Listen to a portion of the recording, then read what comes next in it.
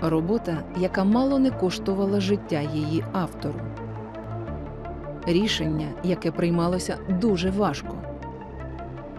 Зрештою, шедевр, що прославив художника на увесь світ.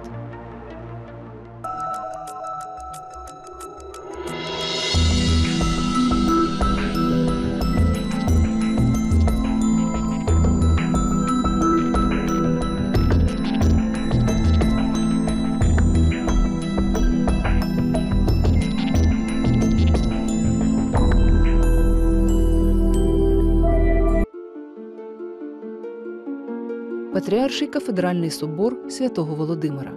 Його будували впродовж 30 років, розписували ще 11 років поспіль. Планували завести як святиню рівно Софії Константинопольській, але від омріяного реалізувалось відсотків 10.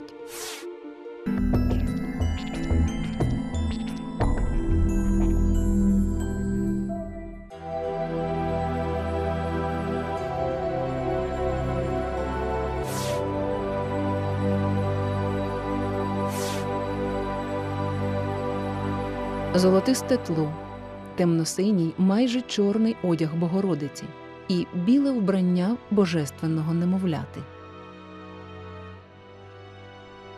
головним таким зображенням, який бачить людина, коли приступає поріг храму, є зображення Пресвятої Богородиці, яка знаходиться в апсиді над алтарем центральним. Це зображення Божої Матері з немовлям.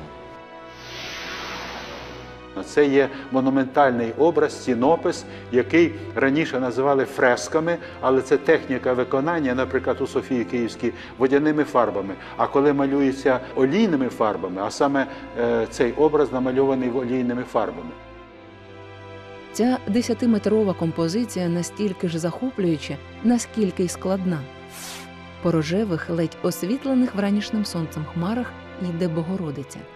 Її погляд благальний, скорботний і водночас всепрощаючий. Вона е, розуміє, їй було передбачено Симеоном Богоприємцем, що е, син буде, коли виросте, він буде божественний, але він буде страчений злими людьми гріховними.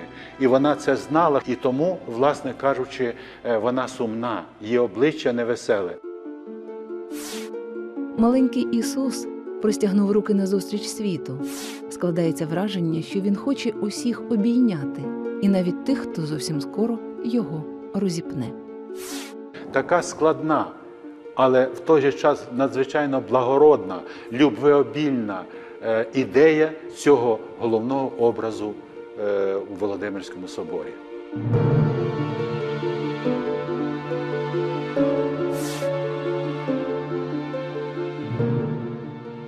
Лише декількома майстерними штрихами Віктор Васняцов надав зображенню неповторної об'ємності, відірвав від пласких стін собору і підняв над людьми в небеса.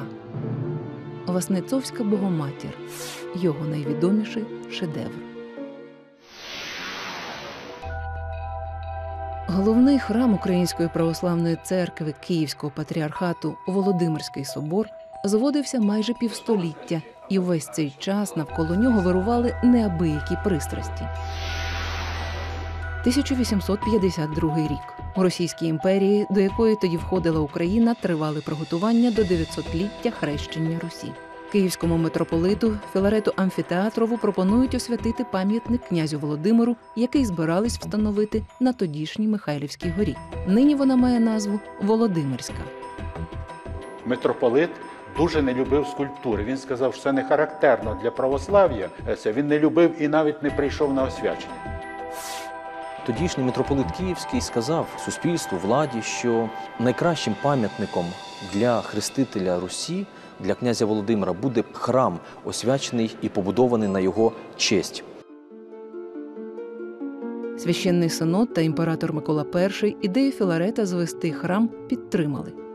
Починається всенародний збір коштів. Але за сім років назбирали лише 100 тисяч карбованців. Цього, звичайно, було замало для 13-купольного собору. А саме таким планували збудувати Володимирський. Він мав бути зведений на цілий квартал, але через постійний брак коштів, прорахунки при будівництві, собор перетворився у довгобуд на невеличкій території. Минуло 30 років, аж поки задум митрополита Філарета втілився у життя. За цей час змінилось шість митрополитів. Зрештою, лише 1882 року було встановлено останній купол. Після завершення будівництва храму треба було деякий час, щоб храм відстояв, і через три роки після будівництва почалося внутрішнє убранство цього собору, розписи, які в принципі і зробили цей собор всесвітнім шедевром культури і мистецтва. Та із завершенням будівництва проблеми не закінчились. Постало питання про внутрішнє оздоблення собору. Проект почав розробляти відомий на той час мистецтвознавець, археолог Адріян Прахов. Але будівельний комітет виступив проти його кандидатури. Його спочатку не хотіли, бо Київ давав свого, який е, керував розписами е, Києво-Печерської лаври, і якраз Прахова е, не дуже хотіли, щоб він був, тому що він не знав добре місцевої української архітектури, живопису і так далі.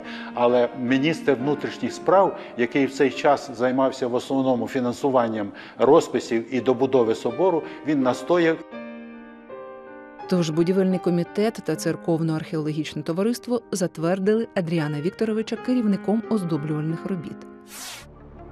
Він одразу ж почав збирати гурт художників.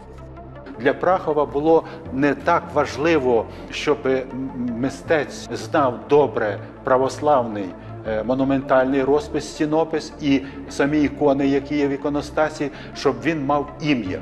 Він пропонував Репіну, він пропонував Крамському, він пропонував Поленову, іншим. І ці художники, яких вже знала вся Російська імперія, він вирішив запросити. Вони всі відмовлялися, бо в кожного була своя робота. Тоді Адріан Прахов вирішує зробити ставку на молодих художників. Запрошення отримали Віктор Васняцов, Михайло Нестеров, Олександр та Павло Свідомські, Вільгельм Каторбінський і додатково художники малювальної школи Миколи Мурашка. Я тільки здивований і не можу знайти, навіть написавши цю монографію про Володимирський собор, чому була усунена малярська майстерня Києво-Печерської лаври. Чому жодного художника звідти, хоч там дуже знамениті художники працювали в цей час, е, Прахов не запросив. Експерт підозрює, упереджене ставлення до іконописців Києво-Печерської лаври було не лише в Адріана Прахова. Проти них виступали чиновники з Петербургу. Не доручати робити художникам з Києво-Печерської лаври. І я здогадуюсь, чому. Тому що вони працювали в українському стилі, в українському барокко, яке виникло ще в 17 столітті за Мазепи. І тому казали, мазепінцям поручать росписи Владимирского собора, который предназначен для торжества и празднования 900-летия крещения Руси, не положено. Проте і з новими художниками виникли проблеми. Насамперед з Віктором Васнєцовим, якого Адріян Прахов прагнув бачити керівником розписів. Він довго вмовляв художника-живописця взятися за розписи Володимирського собору, але той затято опирався тому що він працював для Московського історичного музею, і він є фахівець якраз із язичницького, такого історико-фантастичного, фольклористичного малярства. От у нього ці замріяні альонушки, потім богатирі різні, белинні герої періоду язичництва у грофійській е, державі, яка потім стала е, московським князівством, потім царством і так далі. Тому він теж не погоджувався. Васніцов розумів, наскільки відповідальним було це завдання, і водночас не був впевнений, що зможе з ним упоратись, а ще боявся порівнянь з відомими іспанським та італійським майстрами Бартоломе Мурільо та Рафаелем Санті. Раптом щось критики одразу ж вкажуть на схожість з Рафаелем чи Мурільо, бідкався Васніцов. До того ж, довелось би відкладати роботу над трьома багатарями. А це полотно Віктор Васніцов писав вже протягом 10 років.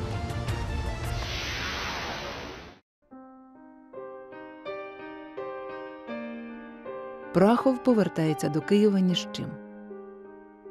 А Васнєцов у цей же час не знаходить собі місця. Пропозиція взятися за розписи Володимирського собору була надто привабливою. Зрештою, він надсилає до Києва телеграму. Якщо Василь Суриков, якому Прахов теж пропонував керувати розписами собору, відмовиться від пропозиції, то Васніцов таки візьметься за роботу. Але що саме змусило художника змінити думку? Не останній момент, а я іноді думаю, що він був перший момент це гроші. Тому що на розписи були виділені величезні кошти. Тоді, коли можна було корову купити за 15 рублів, коли е, десятки тисяч рублів давали за розписи собору, на це не погодитися міг тільки не зовсім розумний чоловік. І тому, е, маючи багато дітей, він погодився на ці розписи Майже одразу йому надходить відповідь із Києва. Чекаємо. Довго не роздумуючи, живописець збирає речі і вперше у житті їде до української столиці. Дивіться у наступній програмі. І він побачив, як ця дитиночка простягала руки і нібито хотіла обійняти цей всесвіт. Васніцов, який був дуже делікатний, толерантний, він досить в грубій формі його виставив за двері. І на той час, можна так сказати, він був певним таким революційним, незвичним. І деякі навіть е, його за це е, і критикували.